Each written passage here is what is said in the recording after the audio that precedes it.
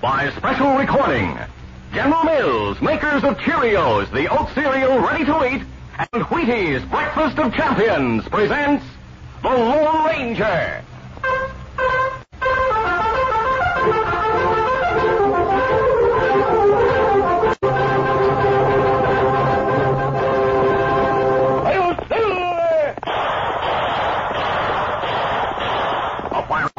Speed of light, a cloud of dust, and the haughty Hi-Yo Silver, the Lone Ranger.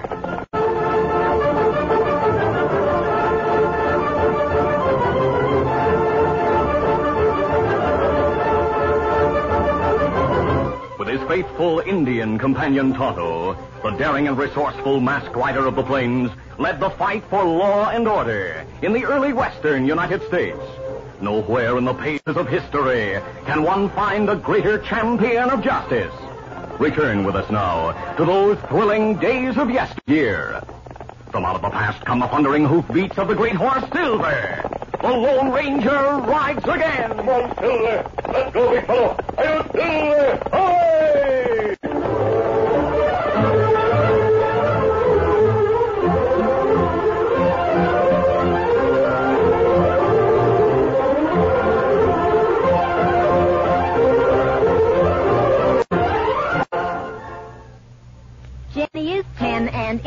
She'd skip rope camp of the neighborhood. She's so quick because she knows she's got gold power from Cheerios. Yes, she's got gold power. There she goes. She's feeling her Cheerios. Cheerios. Cheerios. That's Cheerios, the cereal shaped like little letter O's. And those O's stand for oats. The good grain Cheerios is made from. Every delicious spoonful of Cheerios and milk is real muscle building food. Each spoonful contains vitamins, minerals, and proteins your body needs. Yes, those good things in a Cheerios breakfast do good things for your body. Help you have healthy nerves, good red blood, strong bones and muscles. You can see that Cheerios is made to give you real power. So make sure you have a Cheerios breakfast every day. Then you'll hear people say, She's feeling her Cheerios.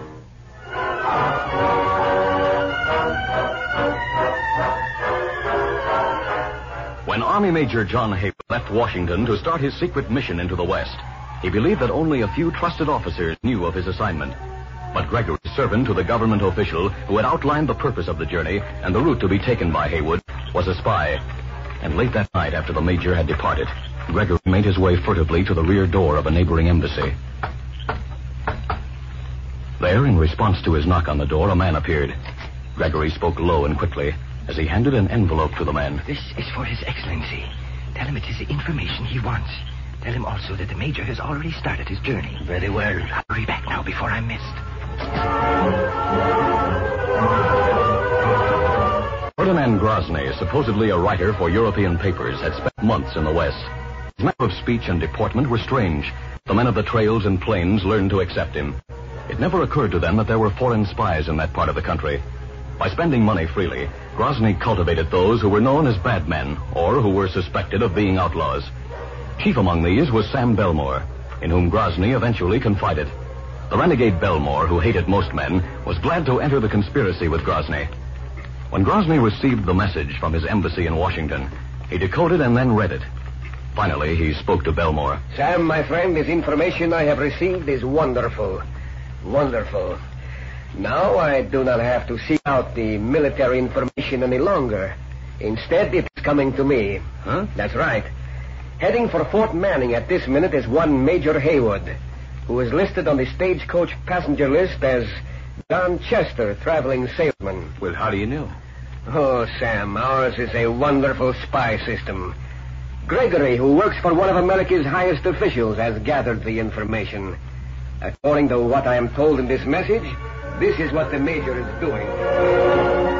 Grozny outlined the complete details of the supposed secret instructions given to Major John Haywood. Yes. He concluded. And this information about Army strength, plans of procedure, and all the rest are included in a packet which he carries in his baggage. Hey. And all you have to do is get it from him before he reaches Fort Manning, huh? Yeah, that's right. I myself have plans of the men and arms my country has hidden in certain places. Ready to move into this country when word is given. You have, huh? Well, where are they? I have them. That is all you need to know. When I get the information which the Major has for the officers at Fort Manning, well, the rest is easy. We'll act before the United States can do anything. Well, how are you going to go about getting it, huh? It may not be easy. It will be if you get your friends Slim Jarvis and Lucky Gordon and their bad men to help us. You want them? Certainly. They have held up stagecoaches in the past, I presume. It's about all the work they ever did in their lives. And they will hold up the stagecoach on which the Major rides. They need not even know what it is they seek or why they seek it. Eh? Tell them there are there are jewels of great worth in the baggage of the man who is known as John Chester. They know they cannot dispose of jewels in country like this, but tell them I'll pay them in gold for getting these jewels. Tell them I will pay great sums of gold. And Slim, this hombre will pay you and your men a thousand dollars apiece for getting that bag. A thousand dollars apiece? Yeah. And you can take on as many men as you need. The more you have, the easier it'll be. He has the money too, Slim. I've seen it. Now, what do you say? Well, sounds good to me. What about you, Lucky? Uh, you're talking about a lot of money, Sam, when you mention a thousand dollars apiece for the men we use. You mean this hombre carries that sort of money on him? No, no, not on him. But I promise he'll get it for you in a hurry once you do the job. Well, if he doesn't pay us on the line, Lucky, we just refuse to turn over the bag to him. And that way we still have the jewels, right, Sam? Sure. But don't worry about the money part. And what's more, boys, if you do this job the way he likes it, there'll be others for you to do later. Good. Now, what about the fellow who's carrying the bag of jewels? The stagecoach he's riding will reach these parts sometime next week. And my friend Grosny's checking on that. I'll leave it up to you fellas to pick the spot for the holdup. At that moment, many miles away, Tonto returned to the Lone Ranger's camp after a visit to the old mission. The masked man read the lengthy letter which had been addressed to him in care of the padre. When he finished reading, the Lone Ranger spoke to Tonto. Tonto, it's from the government. The information is important and grave. Oh? And what'd it say, Kimasabi? The most important part says we must try to see that no harm befalls a certain man before he reaches Fort Manning. But Fort Manning? A week's ride from here, Kimasabi. Yes, Tonto. However, we'll try to catch up with the stagecoach on which he rides about four days from now. We ride with Coach? No, no, Tonto. We'll stay in the background and try not to be noticed. Perhaps we'll not be needed at all. But how you be sure, Kimasabi? We'll pick up the coach at Bonita stay close to it until we're sure it arrives safely at Fort Manning. Oh. If Major Haywood, he's the man we're to watch out for. If he needs help of any kind, he'll leave a message for us. How, Kimasabi? Well, he has a silver bullet. He'll leave that in his message at one of the relay stations along the way, to be picked up by an Indian named Tonto. Are you ready to go, Tonto? Huh? Be ready, Kimasabi. Easy, steady, big fella. Then we'll start at once. We'll have to ride hard in order to reach Bonita on time. All right, let's go. Up, scout.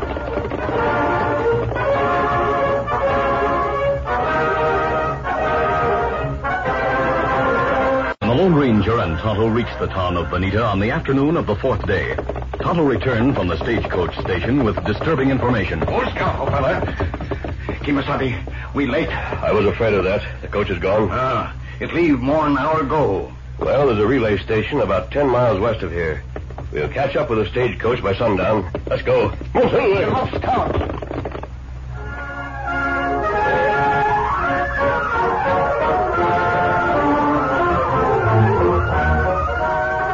The curtain falls on the first act of our Lone Ranger adventure. Before the next exciting scenes, please permit us to pause for just a few moments.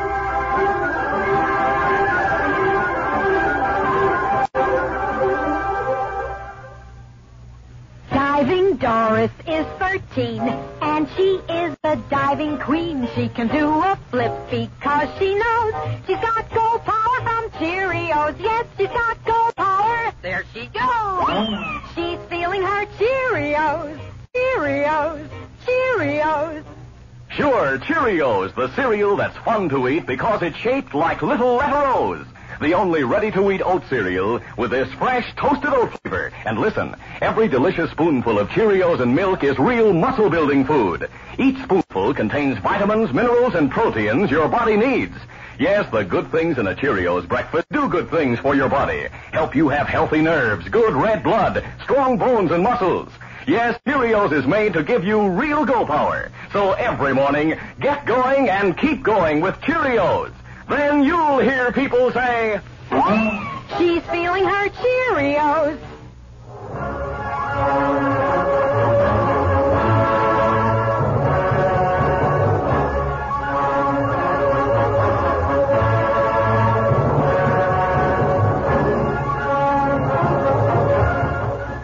Now to continue. At a point called High Rock, at the end of a bend in the road six miles to the west of Bonita, a band of horsemen waited. They were the outlaw band gathered together by Slim Jarvis and Lucky Gordon after their talk with Sam Belmore. They had been waiting since high noon and were getting impatient.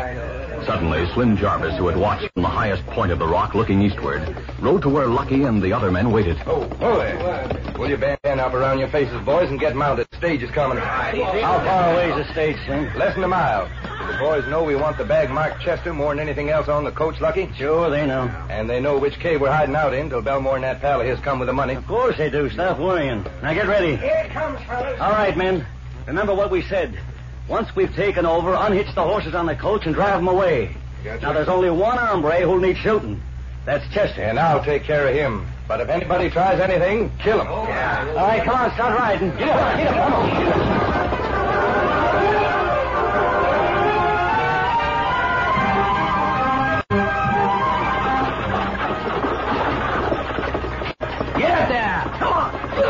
Had reached the turn in the road when the outlaws rode down from the high ground. The guard atop the coach hit by a bullet toppled across the driver's seat, sending the driver off balance. Hey! The coach careened crazily and the horses bolted. Animals and vehicles tottered and landed in a ditch at the side of the road. The passengers inside the coach had no chance to attempt defense. They were piled up crazily on the floor of the vehicle when the outlaws, led by Slim Jarvis, rode close to the window. All right, in there, crawl out. Don't try any funny stuff or we blow your heads off. That goes for all of you. Now come on, get up. The dazed passengers, four men, emerged shakily from the wrecked stagecoach. As part of the outlaw gang, unhitched the horses from the coach and sent them galloping away. The bandits who were searching the baggage compartment stopped as one of them held up a bag and shouted, Here it is. Here's the bag marked John Chester. The only one in there. All right, give it to me. Here you are, Lucky. Never mind the names. Oh, yeah, this is it. Well, now, which one of you is John Chester? Speak up. Which one of you is Chester? One of you four passengers is John Chester. Now which one? Hey, what? Get on, boys. We're being attacked. Where are they? I don't see anybody. Hey, they more men. There must be a lot of them. Go on, ride. We didn't get Chester like we were told. Come on, never mind him. I have the bag. That's what we want. Don't stay there, Slim. Come on. All right, I'll ride behind you. Oh, my shoulder. As Lucky and the other outlaws galloped uphill behind the giant rock and headed into the tree-studded hills, Slim Jarvis, his shoulder shattered, fell to the ground beside the four bandits who'd been wounded. A short time later, the Lone Ranger and Tonto galloped down from the rise on the opposite side of the road, where they had fired at the men they had seen robbing the stagecoach. Tonto, don't attempt to chase those outlaws. Some of these people are hurt badly. We must help them. The four passengers, all of them dazed and bleeding, were helped to the side of the road. One of them, a man more conscious than the rest, suddenly regained full control of his senses. Uh, my, my bag. It's all they took, my bag. Whoever you are, go after them. They took a bag with, with, oh, never mind, get them. Which one of you is John Chester? That's what they asked, too. I thought no one knew that. Do you have a silver bullet in your possession? Do you? Why, I... But yes. Yes, I have. You're masked, aren't you? And your horse is white, and you called your Indian friend Tonto. Yes, I have that bullet. It's in my inside pocket. Do, do you have the password? The Lone Ranger whispered a word which had been given as the word of identification by the official in Washington. Then, sure that the man to whom he talked was Major John Haywood, he worked fast, treating the Major's wounds. Tonto had revived the stagecoach driver, and together they helped the other passengers. Tonto bandaged the guard while the Lone Ranger and Major Haywood went to where Slim Jarvis and the three crooks lay on the ground wounded. When the masked man had stopped the flow of blood, he turned to Haywood. It's getting dark, and it may be difficult to follow the trail of the men who got away. But I must recover that bag. If you know what's in it. I do, I do. And I can't understand why a gang of road agents would hold up a stagecoach in order to get it. I want to learn why they did. We'll be wasting time. On the contrary, we may be saving time if we handle this right. Now, please remove the bandanas from the faces of those men. Oh, certainly. There you are. Well, what do you know? I know who this one is. You're Slim Jarvis, aren't you? Never mind who I am. Help me. I, I'm hurt bad. Dying. I doubt that. I'm going to act tough and see if it gets results. Do anything but get them. Uh. This one asked for John Chester. Uh. He knows something. Ask him. The Lone Ranger, affecting a callousness when to his nature, concentrated on Slim Jarvis. Why did you hold up that coach? It wasn't for money, was it? Well, was it? I, I don't know. Please, I, I'm hurt bad. Not as badly as your country will be hurt after what you and your men did. Uh. Who told you to hold up that coach? Who? Tell me, and perhaps I'll try to help you. Don't tell me, and I'll... I'll tell. We were after the jewels. Jewels. But you took my Oh, bag you're- and... The... You're John Chester. You see, they knew about me. Yes, I'm called John Chester. We wanted the jewels you have in your bag. We were going to be paid to, to get them. All right, you start talking. I'll tie up your arm while you do. The Lone Ranger treated Slim Jarvis and listened to the man's story. Major Haywood, known as John Chester, spoke when Slim finished. The man who told him knew all about my errand and who I am. He's a spy. That's the only answer. And if a spy gets away with a pouch in my bag, we're lost. I see. Jarvis, you're an outlaw. I know that. So do you. But you're also an American. Would you sell your country, this whole great country, for a thousand dollars? What? What are you talking about? Of course I wouldn't. Well, that's what you've done. What? Oh, you're crazy. Major, the truth will be known soon enough, no matter what happens. It may as well come out now. Identify yourself to this man and tell him your mission. The time, important as it is, it's our one big chance. Haywood, without going into deep details, told Slim Jarvis and the three other crooks, now bandaged, the purpose behind the holdup. And there were no jewels in my bag. Only military plans. Sam Belmore lied to you. He's working for enemies of this country. Dirty lying no Major, Lucky and the rest of the boys are hiding in a cave a few miles from here. Belmore and this other hombre are coming there tonight to check on the bag before paying off. You see, Major, we've saved time by doing what we've done. Where is this cave, Slim? Tell us. You don't have to threaten me now, masked man. I'll lead you there. I'll get to the boys and tell them the story. I'm feeling stronger now. Help me up. Our horses are still here. You follow me and I'll lead you. While Slim Jarvis waited, the Lone Ranger, Tonto, and the stage driver pulled the stagecoach from the ditch onto the road. Then the three wounded bandits who had been with Slim were bound securely and placed inside the coach. The driver said, I'll take them and the shotgun guard to the next relay station. The coach horses didn't run very far. There are four of them eating grass back there by the trees. Yeah, sure, I'll get them. Uh, you three passengers, if you feel up to it, help me. All right. Get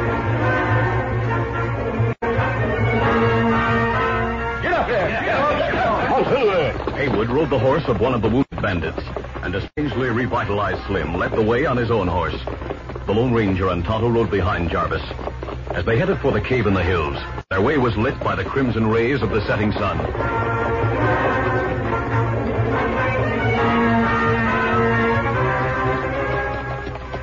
As they neared the hideout cave, a lookout, seeing the riders approaching in the early twilight, fired a warning shot. Slim Jarvis shouted,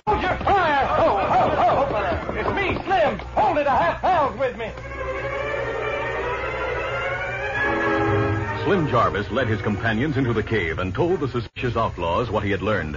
Some wanted to draw guns on the masked man and the others, but Slim prevailed. He had Major Haywood open the bag. The Major did and revealed the contents. You see, there are no jewels. Whatever money you were to receive is in payment for stealing your country's defense plans for the West. That's what's in this package. And that snake, Sam Belmore, told me to make sure you were killed. We were going to kill you, too, until we Hey! Decided... Here comes two men on horses heading up here. It's Belmore and Grosny. Well, men, what do you say? We can't promise to let you escape punishment for what you did today. But if we speak to authorities... Never and mind that part. This is war, stranger, not a holdup. We change sides, that's all. Yeah, and maybe we'll stay on the right side after this deal.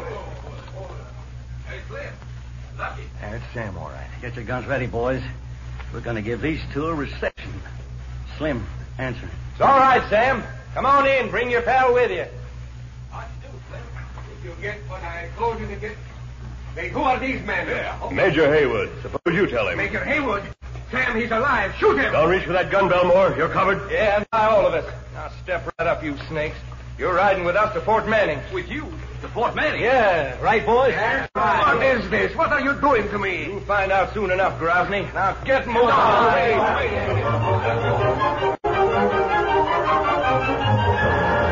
At the fort, Ferdinand Grosny was questioned and then searched. Major Haywood found a pouch hidden in the folds of the spy's coat. Inside the pouch were papers which the Army officers studied. There was a look of unbelief on Haywood's face when they'd finished. Why, this tells us the names and locations of all the foreign agents in this part of the country and in Washington. I must notify my superiors in Washington at once and tell them that Gregory is a spy. Well, uh, well, what about us, Major? What are you going to do with Lucky and me and the rest of the gang? You'll be tried, Slim, and you'll be punished. But the punishment may not be great in view of what you did today. Well, that, that's up to you, Major. But the masked man proved to me that he. Hey, where is the masked man? He and the engine walked off a couple of minutes ago. Well, I'll be doggone. You hear that, Major? The masked man's the one who shot us up and saved your life by doing it. He's the one. I know everything he's done. For me and his country. The world will hear of what that masked man did today. Because he saved more than a few lives, including my own. I'm ready to make a report that the West was saved by the Lone Ranger. Cause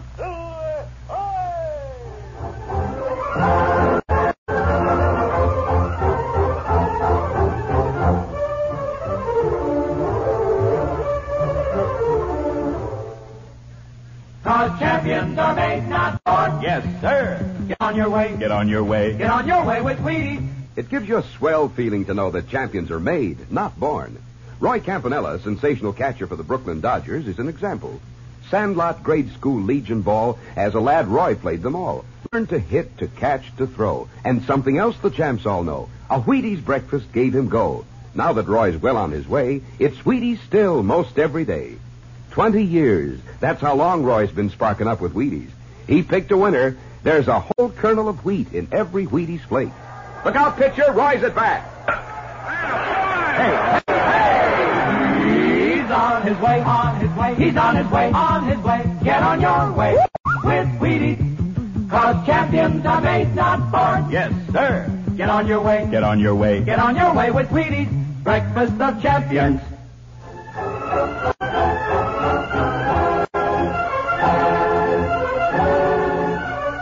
Lone Ranger, a copyrighted feature of the Lone Ranger Incorporated, is created by George W. Trendle, produced by Trendle Campbell Muir Incorporated, directed by Charles D. Livingstone, and edited by Fran Stryker. The part of the Lone Ranger is played by Brace Beemer. Your announcer, Fred Foy.